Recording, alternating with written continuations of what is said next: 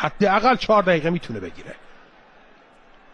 یه ضربه سر دیگه. فرصت برای پرسپولیس ضربه توی دروازه جلال حسینی. سید جلال چه گلی می‌زنه؟ سید جلال چه گلی می‌زنه کاپیتان؟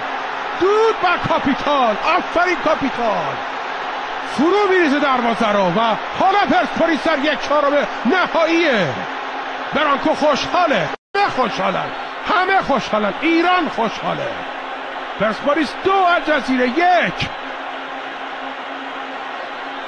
چه گلی می‌زنه سید جلال؟ همین که اومده بود جلو تا نتیجه رو عوض کنه نشان از قدرت روحی او نشان از قدرت تاکتیکی و فهم تاکتیکی او داشت.